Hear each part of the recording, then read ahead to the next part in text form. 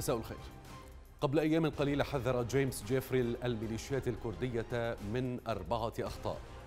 قطع النفط عن حكومة أسد. إعلان الحكم الذاتي في مناطقها تعزيز العلاقة مع حزب العمال الكردستاني المصنف إرهابيا والرابعة مهاجمة تركيا. التحذير من الوقوع بالخطأ الأول أثار جدلا واسعا. فكيف تفرض واشنطن عقوبات على حكومة أسد؟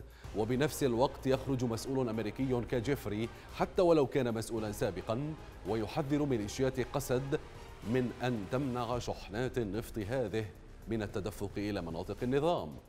ما أثار الجدل أيضا هو لقاء الجنرال الأمريكي ماكنزي بمظلوم عبدي من دون أي نتائج. واليوم هناك حشود روسية تتوالى إلى منطقة عين عيسى ومزيد من الانتشار في النقاط التي أنشأها الروس حديثا على أطراف البلدة وعلى الإم 4 ميليشيا أسد تروج عبر إعلاميها وأبواقها على مواقع التواصل الاجتماعي بأن عين عيسى ستعود إلى النظام بالبوط العسكري.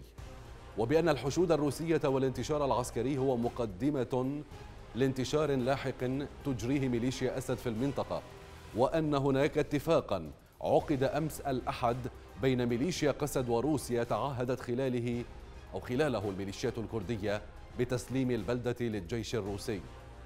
وهذا كله يأتي قبيل محادثات ستعقد في روسيا بين وزير الخارجية الروسي سيرجي لافروف ونظيره التركي مولود جويش أوغلو لمناقشة ملفات عدة على رأسها الملف السوري. فهل صحيح أن قسد سلمت البلدة للروس وميليشيات أسد؟ أم مجرد مناورة لكسب الوقت؟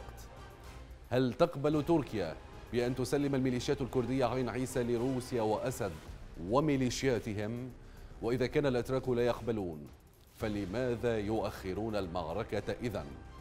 هل لتصريحات جيفري ودعوته لقسد بعدم إغضاب أنقرة والحفاظ على الاتصال مع حكومة أسد وروسيا علاقة بما يجري؟ هل أيضا للتصعيد العسكري الروسي في إدلب علاقة بعين عيسى؟ وفي حال سلمت ميليشيا قسد عين عيسى للنظام فما هي المنطقة التالية؟ هل صحيح أن عين عيسى ستكون أول حبات المسبحة؟ مرحبا بكم إلى تفاصيل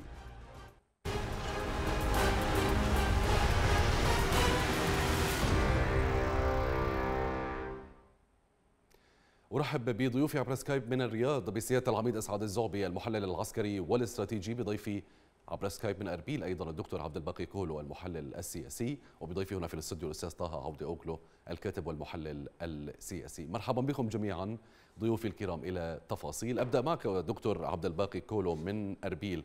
لنبدأ بداية بالمعلومات والمعطيات قبل أن ندخل بالتحليل.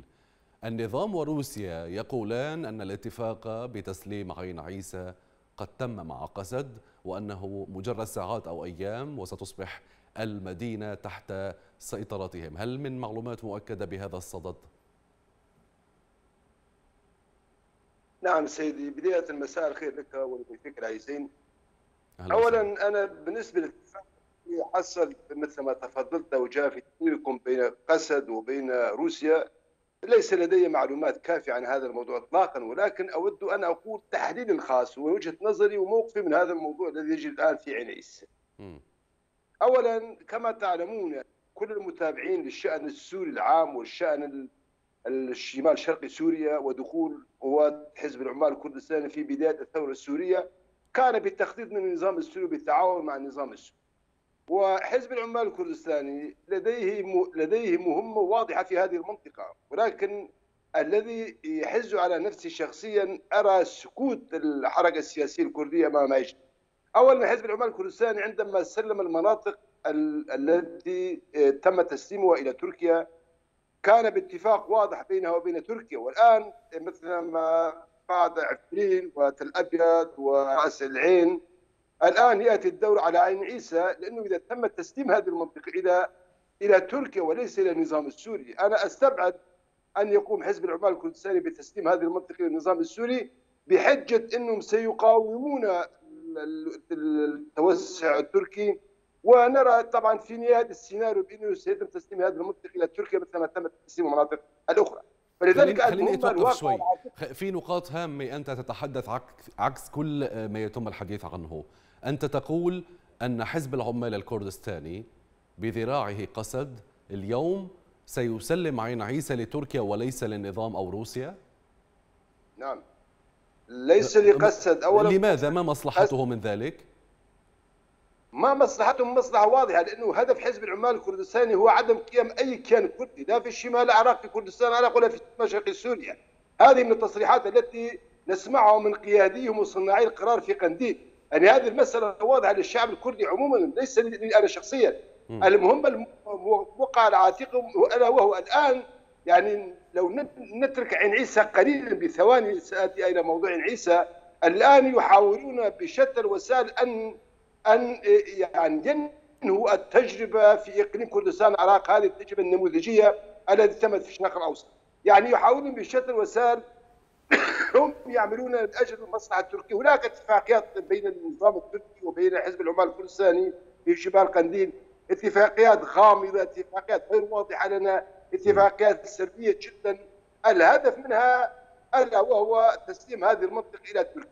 الآن أخي العزيز نقول بعكس ما ما يقوله الآخرون طبعا أنا برأيي وتحليلي الشخصي أرى بأنه عين عيسى الآن المرحلة الثانية من تسليم المنطقة كاملة وليس عين عيسى. لأنه إذا تم تسليم منطقة عين عيسى إلى القوات التركية أو القوات المدعومة من تركيا ما يسمى بالجيش الوطني هذا يعني قطع منطقة كوبان يعني عرف عن منطقة الجزيرة والجزيرة هي القامشلي والحاسكه ومرورا بقحطانيه وصولا إلى دهريك حتى الحدود العراقية العراقية السورية. جميل خليني أفند كلامك بس كرمال لأنه عم تذكر معلومات أو تحليل استنادا إلى معلومات قيمة وغريبه ربما قد تبدو للمشاهد. اذا هناك قرار من حزب العمال الكردستاني كما تقول حضرتك بتسليم مناطق عين عيسى ربما منبج وكوباني أيضا يعني وصل آه، رأس العين بجرابلس واللي تصبح كلها مناطق نفوذ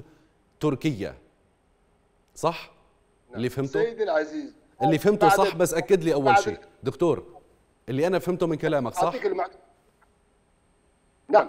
اولا بعد اتفاقية سنجار الذي تمت بين إقليم كردستان والحكومة المركزية في بغداد والذي آه، يقطع الهلال الشيعي الذي يمتد من إيران مرورا بمنطقة بالعراق في منطقه سنجار ثم المناطق الصينيه للبحر الأبيض المتوسط. هذا هو الهدف من ذلك حزب العمال الكردستاني هم يعملون من أجل مصلحة النظام الإيراني من ناحية ومن ترك والنظام التركي أيضا من من ناحية أخرى.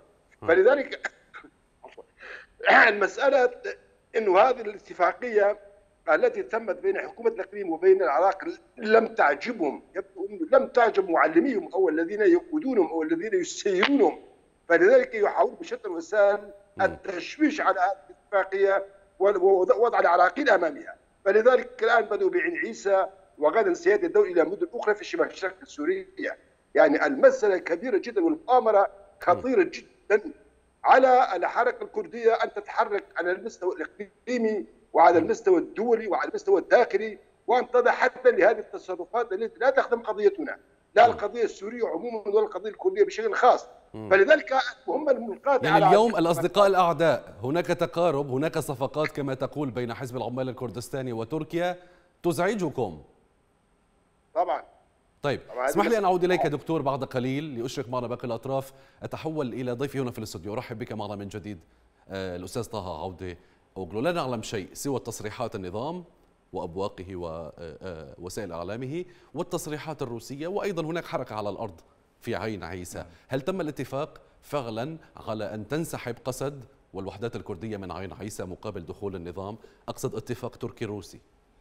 في البداية تحياتي لك يا أستاذ أحمد ضيوفك الكرام السادة المشاهدين. يعني من دون شك يعني من خلال المتابعة خلال الساعات الأخيرة الماضية هناك أنباء وتصريحات تصدر من الجانب الروسي إلى حتى هذه اللحظة عن عن تفاهمات واتفاقيات. ولكن إلى حتى هذه اللحظة لا توجد أي معلومات آه، تركية تتحدث عن هذا آه، الموضوع. ولكن اللافت أيضا أن هذه المعلومات هي آه، يعني تتضارب أو متضاربة نوعا ما خاصة إذا تحدثنا عن أن هناك زيارة مهمة جدا لوزير الخارجية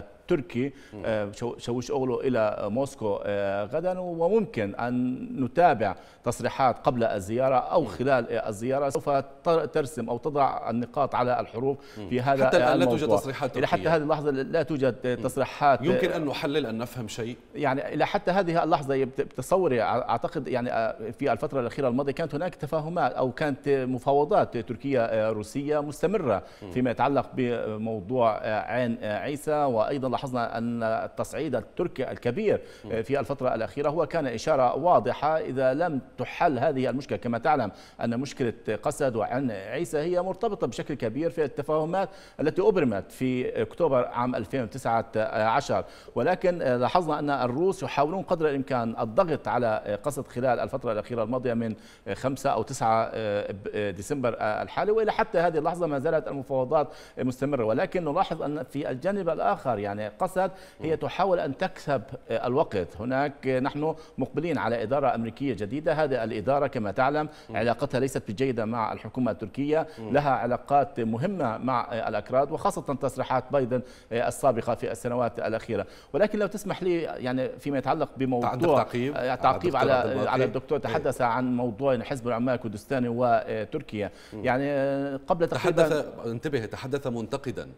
يعني هو مش مع الفكرة. نعم لا ف... يعني نعم أفهم. ولكن يعني حاليا قبل أسبوع أو 10 أيام كانت هنا زيارة لوزير لرئيس الوزراء العراق الكاظم إلى تركيا وتحدث عن كانت هناك موضوع سنجار وتحدث أيضا أردوغان في المؤتمر الصحفي عن أن هناك تعهد تركي عراقي بمحاربة حزب العمال الكردستاني وأن هناك تفاهمات بين السطور يعني فهمت من خلال المؤتمر الصحفي بأن بس تجري. خلف الكواليس تجري صفقات من هذا النوع وأنت تعلم. نعم نعم. ولكن في كل الأحوال أن تكون يعني أن هناك تفاهمات تركية مع حزب العمال الكردستاني أعتقد هذا يعني غير منطقي إذا تحدثنا عن أن الأشهر الأخيرة الماضية وأن العقود الماضية كلها أن هناك دائما محاربة من قبل تركيا لهذا الحزب الذي تصنفه هنا بالحزب الإرهابي. عين عيسى قد تفصل الرأي بينك وبين الدكتور عبد الباقي يعني في حال سلمت هلأ للجيش الوطني. يعني يعني صارت تحت نعم. تحت النفوذ التركي يثبت هذا بالضرورة كلامه أو ينفي كلامك لا أنا تصور أعتقد يعني حاليا نحن دعنا ننتظر الساعات القادمة من سوف يتمخض عن هذه المباحثات واللقاءات التركية أنت الروسية. حريص في أي تحليل استنادا دائما إلى التصريحات الرسمية؟ نعم نعم لأنه حاليا نحن هنا في تركيا نتابع دائما التصريحات الرسمية وعلى ضوء هذه التصريحات نبني عليها تحليلاتنا وقراءاتنا للواقع ولكن هناك بس لك شغلة من من شهر أو تقريبا هناك حشود عسكرية هناك حديث كل الأحاديث وكل التحليلات تنصب في احتمالين راح ألخص لك إياهم. نعم. أما عمل عسكري تتقدم أو انسحاب. أو أو انسحاب لصالح النظام وروسيا. نعم. يعني ليس لصالح أحد. ولكن ليس لصالح أحد من القوات التابعة أو الميليشيات التابعة لتركيا. ولكن إذا تحدثنا حاليا تركيا هناك هدف أساسي بالنسبة لها. أشرت لك قبل قليل تفاهمات الروسية التركيه في عام 2019 هو إبعاد الوحدات الكردية. هو قطع أوصال هذا الكيان الذي يمثل قلقا وهاجسا كبيرا لتركيا يعني حاليا حتى وإن كان المقابل عودة النظام إلى هذه المنطقة. عودة النظام لا لا أستطيع أن أزم هل توافق هذا ما تركيا. تعرضه روسيا. هذا نعم العرض ولكن حاليا تركيا هي توافق على بقاء القوات الروسية ولكن إن بقت قوات النظام بتصوري لأن تركيا أعتقد أفضل الشرين؟ أفضل الشرين لا تمانع ولكن المهم إبعاد هذه الوحدات طيب. والخطر الكردي خاصة نحن كما ذكرت لك على أبواب إدارة أمريكية جديدة مقلقة بالنسبة للحكومة التركية. بالتأكيد. عندي كثير أسئلة أيضا بهذا السياق وسأعود إليك بعد قليل أرجو منك البقاء. معنا إلى الرياض وضيفي من هناك سيادة العميد أسعد الزعبي المحلل العسكري والاستراتيجي أرحب بك معنا من جديد إلى تفاصيل. يا سيادة العميد اليوم كأنه هذا المشهد مكرر نوعا ما على الساحة السورية. يتدخل الكبار يتفاوضون يرمون أوراقهم على الطاولة ومن ثم تحدث تتدخل روسيا بكل سلاسة لتسلم هذه المناطق الخارجة عن سيطرة النظام. ما رأيك؟ مساء الخير لك أستاذ أحمد وللسادة الضيوف وللمشاهدين الكرام. أهلا وسهلا. يعني اولا دعني أتق... يعني أقول الحقيقة الواضحة تماما والتي لا لبس فيها أن هذه التنظيمات الثلاث تنظيم قسد تنظيم داعش تنظيم أسد. لا فرق بينها اطلاقا. كلاهم أو كلاهم ثلاثتهم يقومون بقتل السوريين وتدمير مدنهم وحرق قراهم ونهب ثرواتهم. يعني م. اليوم قسد تنهب الثروات وتدمر المنازل وتطرد أهلها طيب وقبل قسد كان داعش وقبل داعش مش موضوعي كان مش موضوعي لا لا عفوا بس لا لا لما إلى أين سأتصل؟ م. سأصل إلى أنه عندما نقول أن حاليا قسد في عين عيسى م. ثم انتقلت إلى الروس أو انتقلت إلى النظام فهذا سيان واحد يعني بالنسبة لي أنا كسوري م. ابن سوريا والذي يهمني أن تستقل سوريا بكاملها وتعود للثورة السورية م. للثورة هذا ما يهمني بغض النظر بالطريقة التي كانت. يهمني أن يعود أهالي عين عيسى إلى إلى عين عيسى. لا أتمنى أن يكون فيها لا عنصر إرهابي من قسد ولا عنصر إرهابي من داعش ولا عنصر إرهابي من النظام. عندما نقول عودة أنت لا مع ولا ضد سيان الوضع بالنسبة إليك. لا لا لا سأصل إلى النتيجة المهمة يا أستاذ أحمد بس صبرك علي قليلا. تفضل. عندما اليوم نحن عندما نتحدث حقيقة على أن يعني تركيا تقبل أن تكون القوات الروسية هناك. عندما نقول قوات روسية يعني قوات النظام. وهنا هناك هنا في يعني حقيقة أخرى عندما تكون القوات الروسية لا يعني قوات النظام لكن عندما تكون قوات النظام تعني القوات الروسية. لماذا أقول هذا الكلام؟ لأن روسيا هي المسيطرة على سوريا. روسيا هي التي تملك سوريا. وخلاف روسيا اليوم أو ركض روسيا باتجاه الجزيرة لتقليع أو لطرد أمريكا وليس يعني طبعا قسد هي عبارة عن عصابة مأجورة لأمريكا. عندما تقول أمريكا عندما تخرج أمريكا ستختفي قسد كليا. هذا هذه حقيقة. لذلك روسيا هي تريد المنطقة لها. فعندما يملكها النظام فهي لروسيا وعندما تملكها روسيا فهي لروسيا اذا روسيا تريد عين عيسى بكل الوسائل سواء كان بالاتفاق السري مع تركيا أو باتفاق عسكري مع تركيا بمعنى أن تتيح المجال لعمل عسكري تركي أو مثلا تقوم بمساعده تركيا أو بال بال يعني بالضغط على إرهابي قسد وبالتالي تقليعهم من المنطقة وإعادة النظام. هذه حقيقة لابد يعني لابد أن يعرفها الجميع وبالتالي يعني لا يهمني الوضع اللي ما يهمني في عين عيسى أن تعود عيسى عين عيسى كما كانت قبل عام 2011 لأنه إذا دخل النظام سيقتل من في عين عيسى من السوريين وإذا دخلت روسيا ستسلمهم للنظام وقصد حاليا تقتلهم أو تسلم بعضهم إلى النظام. ما قلت لك قبل قليل ما وافقتني. قلت لك الأمر بالنسبة لك لحضرتك سيان. قسد مثل النظام سيطرة قسد دخل النظام طب. الوضع نفسه. يعني طبعا هناك مثال هناك مثال مثال يا أستاذ أحمد. عندما م. حارب الفصائل حاربت داعش وطردتها من مدرسة المشاة ومن سجن حلب الشمال حلب. فقامت داعش قبل أن تطرد من تلك المنطقة سلمتها إلى قسد وقسد سلمتها للنظام. وهذه يعني الصورة لا, لا, لا تخفى على أحد وكثير من الشهداء من الثورة السورية الذين ضحوا بدمائهم من أجل هذه المناطق ليطردوا داعش. فدخلت قبل أن تخرج داعش سلمتها لقسد وقسد سلمت النظام، اذا عندما نقول أن اتفاق ما بين قسد والنظام وروسيا هذا هذا ليس اتفاقا، هذا هي عبارة عن اجسام ثلاثة في بوتقة واحدة في صورة واحدة في في مكون واحد.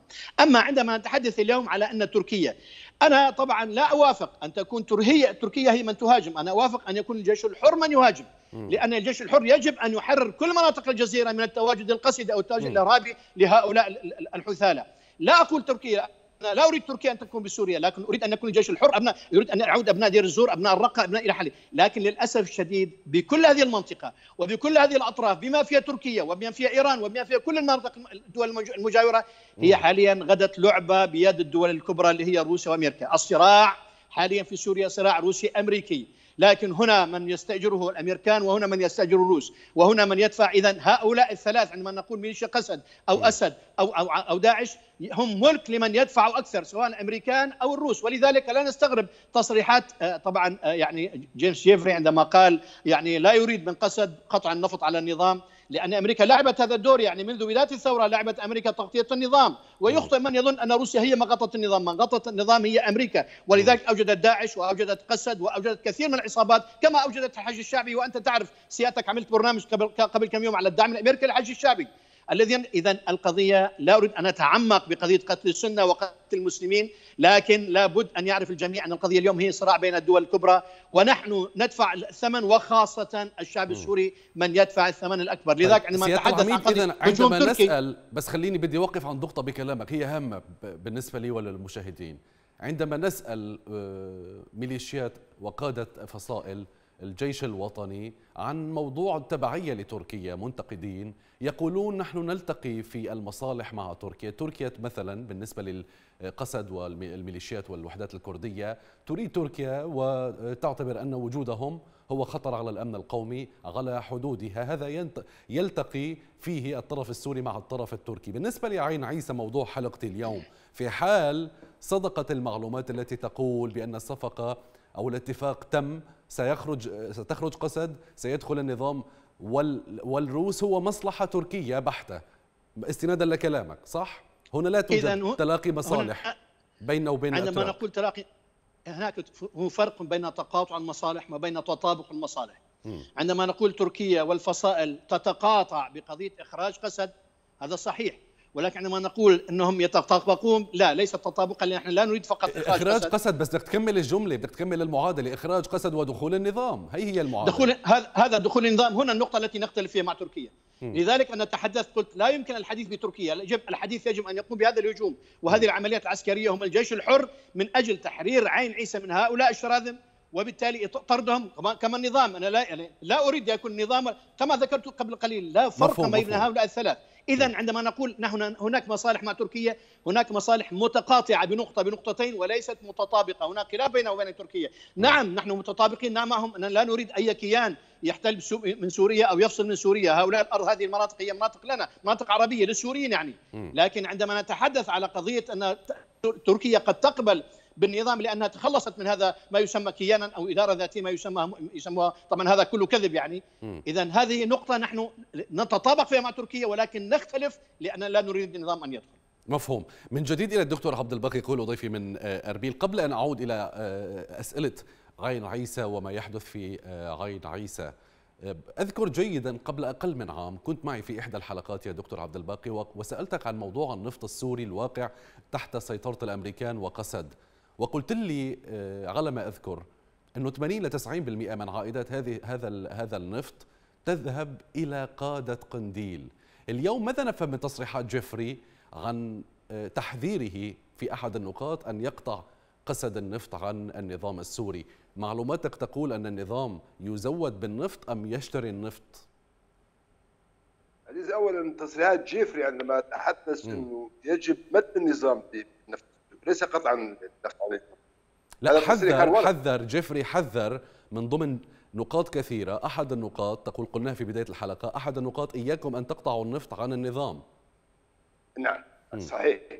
إذا طبعا جيفري عندما يقوم بهكذا تصريح لديه معلومات وافية وكافية يعلم جيدا بأنه مثل ما قلت في الحلقات القادمة بأن النفط المنطقة تذهب إلى جيوب حزب العمال الكردستاني في جبال قنديل. وأنا لست وأنا لا زلت مصرا على كلامي. أنا لم اقولها هكذا هباء لدي معلومات دقيقة جدا. وأعرف كيف تتم تحويل النقود عندما تتحول من منطقة إلى إلى إلى مناطقهم كيف؟ أطلعنا هيك بشكل بس بشكل مبسط. لا بطريقة متخلفة يعني. أنا ما بدي أدخل بتفاصيل. على, على ظهر الحمير يعني مثلا في الجبال كيف؟ يا عمي خليها خليها للمستقبل. أنا لا لا أنا أقول بأنه فعلا نفط المنطقة لا يصرف عليها. تذهب إلى جيوب هؤلاء القادة م. الذين استولوا على المنطقة بقوة السلاح وليس بارادتنا نحن طيب والامريكان الأمريكان غير مستفيدين من من نفط؟ القوات الأمريكية قوات التحالف لا تستفيد من النفط السوري اليوم؟ القوات الأمريكية ليست بحاجة لهذا. ليست بحاجة. والنظام يشتري يشتري أم يزود بالمجان؟ لا لا ما بعرف يعني ويزود على كل حال الأمريكان ليسوا بحاجة لهذا النفط ولكن جيمس جيفري عندما يصرح هذه المسألة يعلم جيدا بأنه هذه تذهب إلى جيوبهم. فلذلك بدلا أن يذهب إلى جيوب هؤلاء يجب أن يذهب إلى النظام السوري. يعني طيب خلينا نرجع لعين عيسى. أنا بس حبيت أضوي على هالنقطة لأنه ذكرها سيادة العميد وأنا تذكرت الحلقة القديمة مع مع حضرتك. طيب اليوم بالنسبة لعين عيسى انت أنت لك وجهة نظر مختلفة. تقول أنها قد ستسلم للاتراك على الأرض. هناك انتشار لقوات النظام والقوات آه، الروسية آه، كدوريات مشتركة يعني تسير هناك. زادت من وتيرتها في الأيام القليلة الماضية. في حال سقطت عين عيسى وذهبت إلى النظام سؤالي لحضرتك ما مصير كوباني ومنبج؟ لأنه راح لأنه عين عين عيسى باستعراض الخريطة تفصل تل أبيض عن عن كوباني، كوباني المتصلة بمنبج إلى جرابلس. هذه مناطق قسد. منبج، كوباني، عين عيسى. أنت تقول إذا سقطت بيد النظام وإذا هذا شيء غير جازم يعني. أنا لا أنا أنا شخصيا التحليل يختلف عن كل الناس الذين يتحدثون عن عين عيسى. اي معلش بس أنا بس أنا بدي إياك تمشي على هالاحتمال لنفهم لنفهم وين رايحه المنطقة لأنه احتمال يصير كمان. إذا سقط بيد بيد النظام السوري اولا كوبا ستنفصل عن منطقة الجزيرة نهائيا مثل ما تم فصل عفرين. وتصبح المنطقة منطقة الجزيرة التي تسمى بمحافظة الحسكة قصدي من القامشلي من ترباسية والقامشلي وعمودة حتى ديريك حتى حدود سنجار ستقع في أيدي القوات التركية. أولا من تصريحات المسؤولين الاتراك وعلى رأسه بسيد أردوغان الذي يقولها بصراحة إنني سأدخل إلى سنجار. وهو يعلم وهو يعلم ماذا يقول. هناك بس أنت كيف حضرتك تربط تربط الشرق بالغرب؟ رحت لي على رحت لي على القامشلي ونحن نتحدث هنا في منطقة وسط اللي هي عين عيسى. أخي إذا سقطت عين عيسى ما السيناريو هو هو السيناريو بده يمشي مثل حسب الخطة المرسومة من قبل حزب العمال الكردستاني الذين ينفذون هذه هم أدوات هذا السيناريو يعني المسألة مو مو والله أنا جايبها من من عندي. الأتراك يقولون بصراحة نحن لن نقبل بوجود حزب العمال الكردستاني في هذه هذه حجة طبعا. الهدف التركي أخي العزيز يعني الأتراك عندهم هاجس القضية الكرديه هم يحاولون خنق إقليم كردستان العراق الهدف الأساسي والنهائي من كل هذه العملية ألا وهو وضع حد يعني مثلا معبر إبراهيم الخليل المنطقة الوحيدة بين تركيا وبين العراق عموما الذي يمر عبر إقليم كردستان م. الآن الحكومة العراقية مع حكومة أردوغان يحاولون افتتاح معبر بجانبي تصور يعني وهذا يمر عبر الحدود السورية يعني تصل إلى منطقة إلى إلى إلى إلى محافظة الموصل مرورا بمناطق أخرى من من العراق ووصولا إلى بغداد. يعني المسألة الآن التي ترسل وهذا السيناريو الذي تم رسمه وادواتهم حزب العمال الكردستاني. أنا لم اتي من عندي بمعلومات هذه معلومات حقيقية نحن نراقب الوضع هنا عن كسب. رجع عد لي اياها، هذه معلومات حقيقية تقول تقول بأن بأن بأن الخطه ال ال ال في عندك خطه ألف عندك باء في عندك جيم وفي عندك دال يعني الأتراك لن يقبلوا على الأطلاق أن تبقى هذه القوات على أساس يعني على أساس لن ترضى بها. ولكن كل ما يقومون به حزب العمال الكردستاني والأحزاب الملتفه حول حزب العمال الكردستاني كلها تصب في المصلحة التركية. يعني إذا إذا إذا راقبنا الأحداث من 11 عاما نجد إنه كل ما يتم الآن في المنطقة هو لصالح الحكومة التركية ولنظامها. فإذا المسألة واضحة أخي العزيز، أنا لم أنا لا لا أتهمهم باتهامات من الهواء، هذه الخطة المرسومه حاليا. هم يحاولون الهدف الأساسي ضيعتني ضيعتني دكتور والله العظيم ضيعتني، الخطة تقول ماذا؟ تقول بأن حزب العمال الكردستاني وقيادات الإدارة الذاتية وقسد اليوم هناك صفقة مع تركيا سيسلمون المناطق السورية التي تقع تحت سيطرتهم تباعا. بس لخص لي لخص لي إياها بجملة لا افهم عليك. يا بجملة. اولا القسد ليس لها أي قرار. هي مغلوبه على امرها مظلوم عبده لا يستطيع أن يعمل يفعل أي شيء. القرارات التي تأتي من قيادات حزب العمال الكردستاني من جبال قنديل. هم الذين يعني الآن كما يعني كان في على أساس حوار كردي كردي. اين اين هو هذا الحوار؟ بالعكس يحاولون وضع العراقيين أمام الحوار. طيب هي فهمناها. مظلوم عبدي واجهة. مغلوب على أمره خلينا نقول. okay. بالتالي؟ حزب العمال الكردستاني هم البلاء في هذه المنطقة. أقولها لك بكل صراحة. يعني طيب فهمناها يا دكتور فهمناها. اليوم المسيطر الحقيقي حزب العمال الكردستاني نتحدث في الجغرافيا السورية. ما المس أي صفقة تتحدث عنها أنت بين حزب العمال بين ال PKK وتركيا؟ ماذا تقضي؟ حزب العمال الكردستاني هدفهم القضاء على تجربة إقليم كردستان العراق بصريح العبارة وهم يحاولون هذه الخطط التي يرسمونها من جبال قنديل القضاء على هذه التجربة التاريخية النموذجية في هذه المنطقة. والمسألة ومحاربتهم للحزب الديمقراطي الكردستاني برئاسة مسعود البرزاني.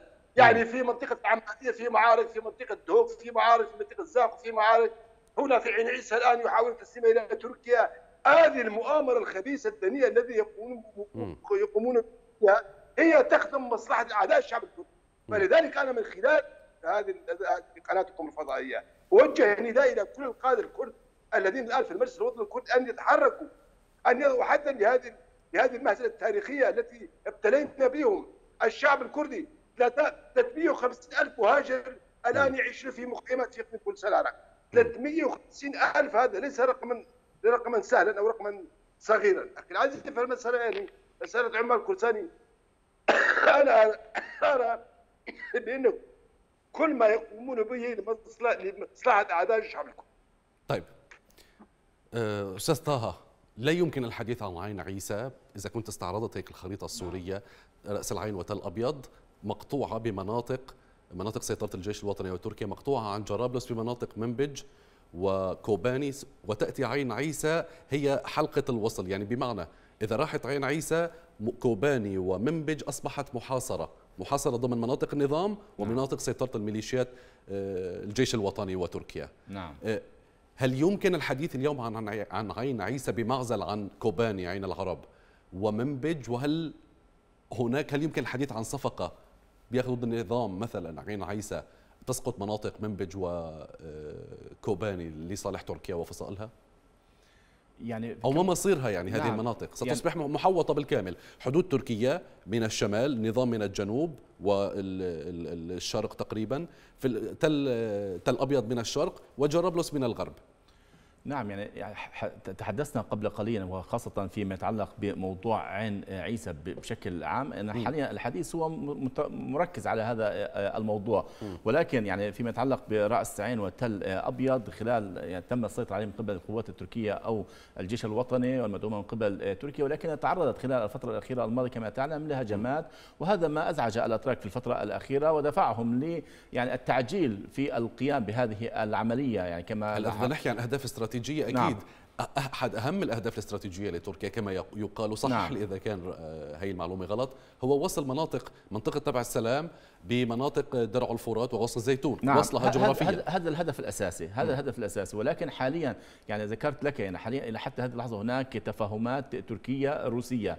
هناك لاحظنا أن الولايات المتحدة الأمريكية خلال الفترة الأخيرة غير غائبة عن المشهد آه، السوري بشكل عام. لاحظنا تصريحات كما تفضلت في بداية حديثك. وأعتقد هذه التصريحات أو هذه الحضور الامريكي سوف يكون آه، أقوى. لذا أعتقد أن تركيا في الدرجة الأولى حاليا تريد إنهاء ملف عين عيسى في البداية قبل مجيء إدارة بايدن ولكن في المرحلة المقبلة نعم هناك هدف استراتيجي كما ذكرت لك ربط هذه المناطق وأيضا قطع أوصال يعني الدعم والإمدادات شرق الفرات عن غرب الفرات. شرق الفرات عن غرب الفرات. وأيضا يعني كما تحدث يعني ضيفك ان هناك عن حزب العمال الكردستاني والذي هو يعني يعطي الأوامر والتعليمات لقصد كل هذه يعني حقيقة يعني هناك بالنسبة لتركيا خطوات يعني متتاليه ولكن أنقرة تتابع بشكل كامل التطورات التي سوف تحصل أو تحصل في الأسابيع المقبلة من قبل الولايات المتحدة الأمريكية. هل هناك قلق؟ يعني إذا حدث على سبيل المثال يعني تفاهمات تركيا روسية هل ستزعج الولايات المتحدة الأمريكية؟ بس ثواني بالنسبة لتركيا الموقف الأمريكي حتى الآن غير واضح لأنه لك شيء. قبل أمس الأحد نعم. قبله كل الأحاديث عن عن عين عيسى قبل أن يأتي حتى الجنرال ماكنزي ويلتقي بمظلوم عبدي. كانت تقول بأن يعني المفاوضات بين النظام وقسد جارية وستسلم للنظام. جاء ماكنزي قطع هذا هذا الحلم وحتى النظام نفسه بدأ يتحدث عن أنكم ذهبتم من جديد إلى الأمريكان وستندمون وما إلى ذلك. الأحد اختلف الحديث كليا وكأن يعني أحاول أن أفهم من حضرتك وكأن الجانب الأمريكي أعطى ضوء أخضر سلموها للنظام وانسحبوا لقسد. يعني هذه هناك تصريحات قبل أيام جيفري جيمس جيفري عن موضوع قسد ومقصد في في تركيا. ولكن يعني حاليا ما أستطيع أن أقرأه خاصة فيما يتعلق بقسد هو يحاول كسب الوقت. هذه نقطة لافتة. يعني هناك مين يحاول كسب الوقت؟ قصد هو حاليا بانتظار آه. بانتظار بانتظار الإدارة الأمريكية. لذا أعتقد أن المباحثات التي تجري غدا في موسكو ما بين وزيري الخارجية التركي والروسي أعتقد هي سوف هامة وسوف توضح لنا يعني الصورة بشكل كامل خلال الأيام المقبلة وخاصة إذا تحدثنا عن مصير عين عيسى. نحن نتحدث تقريبا منذ شهر أو أكثر عن ما هو مصير عن عيسى وخاصة فيما يتحدث عن هناك عملية عسكرية. بتصور أعتقد العملية العسكرية لم تنتهي بالنسبة لتركيا. احتمالية احتمال احتمالية شن هذه قائمة. العملية قائمة إلى حتى هذه اللحظة. ولكن أنقرة هي أيضا تخشى يعني في حال يعني شن هذه العملية وعملية مشابهه لعملية نبع السلام سوف يكون لها انعكاسات على العلاقات التركية الأمريكية. إلى حتى اللحظة يعني الصورة التركية الأمريكية غير واضحة بشكل كامل. إذا تحدثنا ليس عن خلاف الملف السوري ولكن هناك ملفات معقدة أكيد. للغاية بين الجانبين. اذا يعني لا يمكن حسم موضوع عين عيسى من وجهة نظرك آه، قبل وصول إدارة بايدن. يعني أنا بتصور أعتقد نتحدث عن جزء صغير نحن نعم في الخارطه السورية. بتصور سوف تستمر إلى أسابيع هذه المشكلة والجميع حتى يعني الجميع هو بانتظار يعني سيد البيت الأبيض. حتى بعد لقاء آه، غدا حتى لقاء حتى بعد لقاء هذه هي هذه هي المعلومات المتوفرة وخاصة حتى وسائل الإعلام التركية تتحدث عن هذا آه، آه، الموضوع. الجميع يحاول أن يكون له مكاسب وهذه المكاسب أن تكون مكاسب على أرضية ثابتة وحقيقية وخاصة فيما يتعلق التصريحات والتفاهمات التي تحصل نتابعها حاليا من الجانب الروسي فقط. ولكن الجانب التركي إذا تابعت هناك صمت. هناك صمت بشكل كامل وهذا تبعناه تتذكر في سوتشي. الصمت ماذا يعني هذا الصمت التركي؟ ده لأنه له دلالات. صرنا خبراء بهذا الصمت. نعم الصمت يعني التركي موافقة؟ الصمت التركي هو ليس موافق هو حاليا لا يريد يعني لا يريد إغضاب الروس خاصة إذا تحدثنا عن أن هناك ملفات شائكة ما بين الأتراك والروس في ملفات عديدة وساحات مختلفة. في الوقت نفسه هناك لغة تصالحية من قبل الرئيس التركي رجب طيب أردوغان مع الأوروبيين ومع الأمريكان. وحتى نتحدث يعني عن مع إسرائيل. يعني قبل أيام تحدث عن هذا الموضوع. هو يحاول قدر الإمكان أن يحافظ يعني على يعني هذه الخيوط خيوطه مع الروس من جهة ومع الأمريكان من جهة. لذا هو الجميع يحاول أن يكسب الوقت خلال المرحلة المقبلة عن عن ال 20 واحد لسه لاستلام بايدن لل وفي أسبوع يعني إحنا رأس إيه. السنة صحيح في نعم. عطله عطله عطلة نعم. أعياد آه، ورأس السنة سيادة العميد أريد منك تعقيب على ما قاله الدكتور عبد الباقي كولو أنا استضفته بحلقات كثيرة و... و... ويبدو هذه في هذه الحلقة أنه يتحدث ليس مجرد تحليل ورأي بل استنادا على معلومات تفضل سيادة العميد يعني اولا الحديث حقيقة على سواء كنا نتحدث عن عيسى وعين العرب هنا أستبيحك عذرا. الرجاء هي عين العرب لها اسم كبير وجميل وتتشرف به عين العرب وليس كوباني هذا المصطلح لا يعني يعني غير مقبول نهائيا لو سمحت لي. ثانيا طيب عندما تحدث وجهة نظرك طيب. وجهة نظر وجهة نظر الدكتور عبد الكافي لنفسه أن هناك اتفاق ما بين تركيا وحزب العمال الكردستاني. لا أعتقد لأن الحرب بينهما من سنوات ولكن حزب العمال الكردستاني يعمل لصالح إيران يعمل لصالح نظام. كان أحد الأوراق التي يستخدمها حافظ اسد للضغط على تركيا وهذه القصة معروفة تماما للجميع. لكن عندما نتحدث حقيقة على أن يعني آه، آه، مصالح تركية أو غير مصالح تركية كما ذكرت قبل قليل اولا تقاطع ما بيننا وبين مصالح تركية في قضية منع آه، يعني هذه المنطقة أن تنفصل على أهلها أو شعبها أو جسمها السوري. ثانيا عندما نتحدث عن دور يعني هذا التنظيم تنظيم قسد لم يغب على الأذهان إطلاقا تواجده مع النظام في القامشلي يعني فروع الامن العسكري للنظام أو الفوج 21 ما زال في القامشلي ما زال في الحسكة. التواجد مشترك بيننا فلا يمكن حقيقة الفصل بينهما أو نقول. لكن يجب أن نوجه طيب, طيب القامشلي القامشلي سيادة العبيد تعادل أهمية عين عيسى لأن عاصمة إدارية لقسد عين عيسى. لم أسمع بقضيه عاصمة إدارية. العاصمة عيسى بلد بلده سوريه والقامشلي مدينه سوريه ولم أسمع بذلك قصد أو يعني هذا هذه المسميات الخرافية كما كانت داعش تسمى دولة الخلافة والإدارة الذاتية. هذه تسميات خرافية يعني لا لا لا لا, لا, لا تبقى ولا تذر نهائيا اقصد المقرات المقرات الأحزاب مجلس سوريا الديمقراطي كل النشاطات التي تتم على الاجتماعات حتى الاجتماعات الأخيرة بين مظلوم عبدي و كينيث ماكنزي تمت في عين عيسى أيضا. يعني نلوم هذا الزمان الغلط اللي صار واحد اسمه مثل مظلوم عبدي أو هذا اشعر يعني يصير يحكي مع الأمريكان أو الأمريكان يحكوا معه، الأمريكان قادرين على انه يحطوا قبعة على شخص يكبروه أو يصغروه مثل ما بدهم للأسف الشديد يا أستاذ. لكن دعني أتحدث عن مصلحه تركيا لأنتقد هنا تماما السياسة التركية في قضية تحقيق مصالحها الخاصة، لماذا تنظرون إلى مصالحكم؟ ونحن لا يعني لم ننسى جميلكم مع الشعب السوري. ولكن لماذا تنظرون إلى مصالحكم الضيقة وتنسون تماما مصالح الشعب السوري الضرورية التي هي بالأساس يعني إن حققت مصالح الشعب السوري فالمصالح التركية ضمنها محققه يعني عندما نتحدث عن تسليم عن عيسى للنظام ويقبل الأتراك بهذا وأعتقد يقبلون يعني عندما قبلوا بسراقب عندما قيل أن دخلت الشرطة الروسية ولم تدخل الشرطة الروسية كانت قوات النظام فيها وقبلت تركيا. من هنا نحن نتحدث حقيقة أو نلوم الجانب التركي والسياسة التركية التي ما زالت تتسم بالغموض؟ يعني دائما اتفاقات نراها على صعيد الواقع ولا نعرف ماذا يجري آه، خلف الكواليس.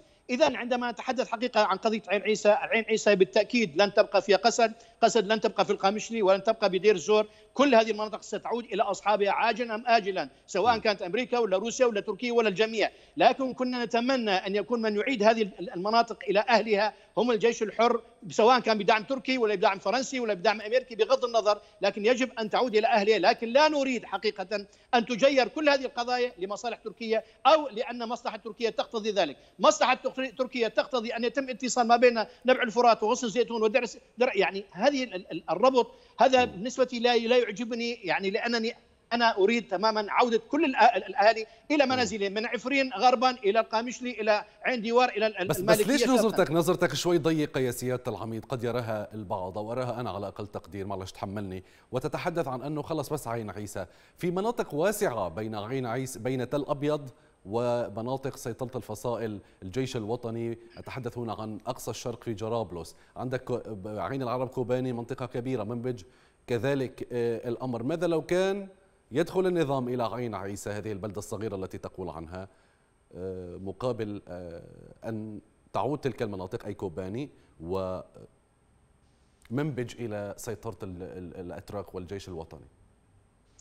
نحن نريد إعادة كل هذه المناطق إلى الجيش الوطني لكن عندما نتحدث اليوم على موقع عين عيسى وهو الاستراتيجي على الطريق إم 4 أعتقد هذه العودة إن تمت للنظام نفس العودة لسراقب سراقب لم تعود للنظام يعني نقول بخسارة القوات التركية أو بضعف القوات التركية إنما بتسليمها تحت مسمى الشرطة الروسية، يعني عندما قال بوتين الشرطة الروسية دخلت السراقب لم يكن هناك أي شرطي روسي ولم يدخلوها إلى الآن، من دخل السراقب هم قوات النظام ميليشيا بشار الاسد زائد حزب الله. ولكن قبلت تركيا لأن هناك اتفاق روسي تركي بتسليم الام 5 إلى القوات الروسية وبالتالي إلى النظام. لكن أيضا آه، وطبعا يعني آه، غض البصر الروسي عن قضية 4 لذلك عندما نتحدث عن عيسى موقعها الاستراتيجي نفس موقع سراقب. من سلم سراقب أو من رضي بوضع سراقب سيرضى بوضع عين عيسى. فأعتقد أن تركيا ستقبل بدخول قوات النظام إلى عين عيسى وستقبل أيضا حتى بدخول قوات النظام إلى عين العرب وإلى منبج. وهذا لا يروق لنا كنحن مقابل كثوار أو كالجيش حر. مقابل ماذا؟ هناك هناك مكاسب. اولا هي المصلحة التركية تقتضي ألا تكون هناك قوات قسد. هذا يعني مفروغ منه. ثانيا لا شك ان هناك اتفاقات ما بين روسيا وتركيا. قد تكون في سوريا وقد تكون في مناطق أخرى. ربما قد, قد تكون في سوريا وقد تكون خارج سوريا يعني تقصد ملفات نعم بسوريا بسوريا أقصد المناطق التي تتعلق بشمال حلب وهي القرى 12 قرية التي سيطر عليها قسد وسيطر على النظام والتي هي تتبع لريف حلب الشمالي سواء كان منغ أو يعني تل رفعت هذه المناطق الموجودة في الشمال. لكن عندما نتحدث حقيقة هذا لا يعني أنه فقط هذه القرى إنما أيضا لا شك أن هناك يعني خلف الكواليس اتفاقا تركيا روسيا في مناطق أخرى. وأخشى أيضا أن يكون هناك حتى ضمن هذا الاتفاق يا أستاذ أحمد وسنذكر بعضنا أن هناك أيضا اتفاق أمريكي يشارك في هذه الاتفاقيات، لا شيء يحصل في سوريا بدون بغياب أمريكي أو غياب روسي، لا شيء يحصل اطلاقا يعني، كل ما يجري من سوريا من شرقها وحتى بمنطقة الشرق الأوسط لا تغيب عنه أمريكا يعني اولا. مناطق خفض التصعيد الماضية التي كانت ترعاها روسيا وتركيا في سوتشي وأستانا كانت بموافقة أمريكية أفهم منك؟ وهل تعتقد أن لو لم تكن هناك موافقة لو كانت لو أرادت أمريكا أنا لا أعرف. تفضل. أنا متأكد لو أراد أمريكا إلغاء هذه الاتفاقيات ما دخلت في في اتفاق درعا. من من أخرج السوريين من درعا ومنع عن عن التسليح عن الفصائل من أجل أن توافق تلك الفصائل على هذا الاتفاق. لذلك كانت أمريكا حاضرة بكل هذه الاتفاقيات. اليوم أمريكا انتبهت إلى أنها خسرت كثير وبالعكس خسرت كرامتها. ربما تحاول أن تستعيد ولكن دوما مصالحها فوق الكرامة. أمريكا تعتبر أن المصالح المادية دوما فوق الكرامة ولذلك هي حاليا موجودة في منطقة شرق الفرات. هي تؤمن النقل النفط النظام تؤمن النفط إلى إسرائيل وتؤمن كذلك أيضا رعاية مصالحها الخاصة. لذلك عندما نتحدث عن الاي اتفاق تركي روسي أمريكا ليست بعيدة. أمريكا كانت ممكن أن تقول لتركيا لا تتقدمي أو تراجعي أو تقدمي. ولذلك جيفري كان واضح قال للقسد لا تشتبكوا مع الأتراك الأتراك لا تعاندوا الأتراك يعني يجب أن تنسحبوا. وتركيا أيضا بالمقابل ممكن لروسيا أن تدخل النظام. يعني اذا عملية رضوات بيناتهم لكن على حساب السوريين. أنا أشكرك جزيل الشكر على مشاركتك معنا سيادة العميد أسعد الزعبي المحلل العسكري. والاستراتيجي ضيفي من الرياض شكرا لمشاركتك سيادة العميد. شكرا لمشاركة الدكتور عبد الباقي قولو المحلل السياسي ضيفي من أربيل ولضيفي هنا في الاستوديو أستاذ طه عودة أوغلو المحلل السياسي التركي والكاتب طبعا. الشكر الأكبر لكم مشاهدين على طيب المتابعة. أعود ألقاكم غدا إن شاء الله في حلقة جديدة وتفاصيل جديدة. إلى اللقاء.